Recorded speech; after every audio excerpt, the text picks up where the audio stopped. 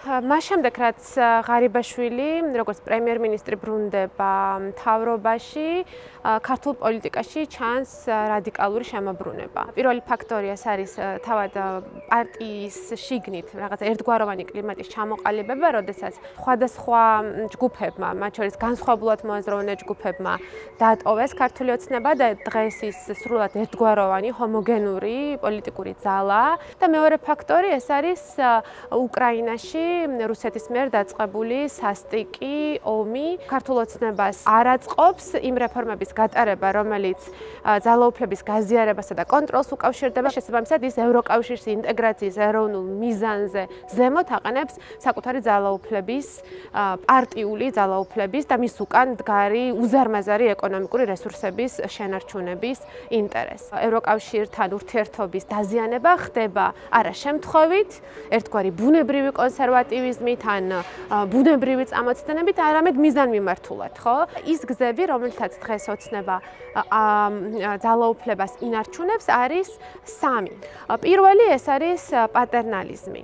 ეს არის ჩვენი სოციალური მოწყვლადობის, სიღარიბის, ეკონომიკური უთანასწორობის რეგიონებში სოციალური ინფრასტრუქტურის აშკარა ჩამორჩენის თუ სხვა ბევრი ეკონომიკური გამოწვევა, რომელსაც ის პასუხობს სოციალური დახმარებების არსებული სისტემით, რომელიც ისევ სიღარიბეში ტოვებს ოჯახებს და მათი რეალობა სოციალური არ იცვლება. ჩვენ უამრავ ადამიანებს ხვდებით რეგიონებში და ისინი ამბობენ, რომ იმის გამო, რომ მათ შეიძლება დახმარება შეუწყდეთ, იმიტომ რომ რეგიონებში მათი ყველა გადაადგილება, გადაადგილება კონტროლდება, მაგალითად ვერ შეხვდებიან კრიტიკულ მედიას, ან სამოქალაქო ორგანიზაციებს, ან მით უფრო პოლიტიკურ პარტიებს. მეორე ეს არის ჩვენი ტრამვებისა და შიშების პოლიტიკური ინსტრუმენტალიზება. ხო, როცა ქართული ოცნება ლაპარაკობს აბსურდულ იდეაზე, რომ არსებობენ საერთაშორისო ძალები, რომლებიც ინტერეს, რომელთაც აქვთ ინტერესი საქართველოს ჩართონ ომში და საქართველოსი გაიხსნას მეორე ფრონტი, არის სრული აბსურდი. ამაზე საუბარი ევროკავშირთან კავშირში, რომელიც თლიანად სამშვიდობო პროექტია და მის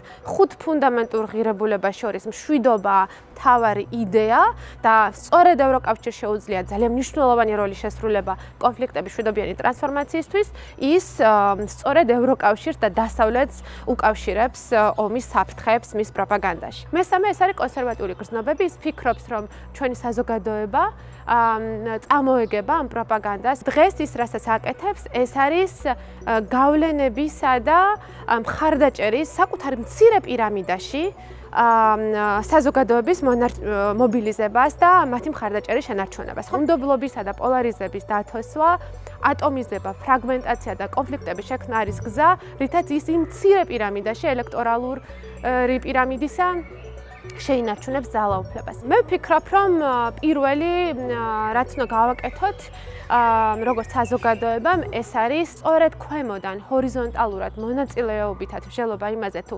როგორი მომავალი გვინდა, როგორია ის საზოგადოება, რომელიც გვინდა რომ ავაშენოთ და რა არის ის ცვლილების თეორია, რომელიც ჩვენ შეიძლება გქონდეს.